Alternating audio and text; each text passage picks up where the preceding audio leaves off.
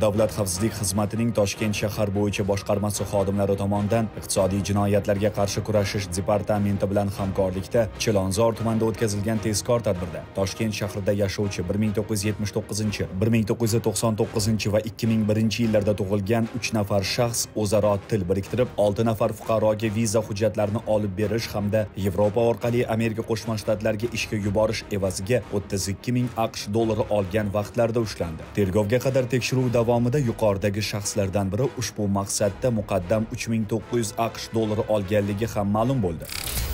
Buxoro shahrida kuzatilgan holatda esa 1997 yilda tug'ilgan muqaddam 3 marotaba sudlangan shaxs aldov yo'li bilan 32 yoshli hamshaharining ishonchiga kirib unga amerika qo'shma shtatlari elchixonasidan tegishli viza olib okean ortiga ishga yuborish evaziga 40 ming aqsh dollari talab qiladi. Ammo u so'ralgan pul mablag'idan 30 ming aqsh dollarini oldindan olgan vaqtida davlat xavfsizlik xizmati va bosh prokuratura huzuridagi departament xodimlari tomonidan ashyoviy dalillar bilan ushlandi.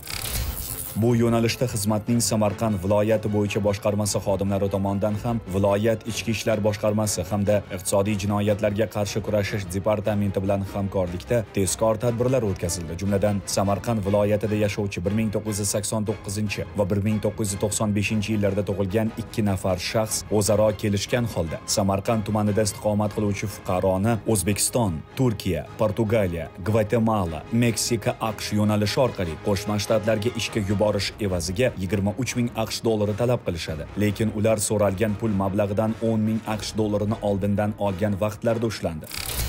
Boshqa bir holatda samarqand shahrida yashovchi 1983 yilda tug'ilgan shaxs samarqand tumanida istiqomat qiluvchi fuqaroni o'zbekiston turkiya ispaniya gonduras meksika aqsh yo'nalishi orqali qo'shma shtatlarga ishga yuborish evaziga 18 ming aqsh dollari talab qilib oldindan 10 ming aqsh dollari olgan vaqtida ushlandi. Hozirda barcha holatlar yuzasidan mazkur shaxslarga nisbatan jinoyat kodeksining tegishli moddalari bilan jinoyat ishlari qo'zg'atilib tergov harakatlari olib borilmoqda. macht er.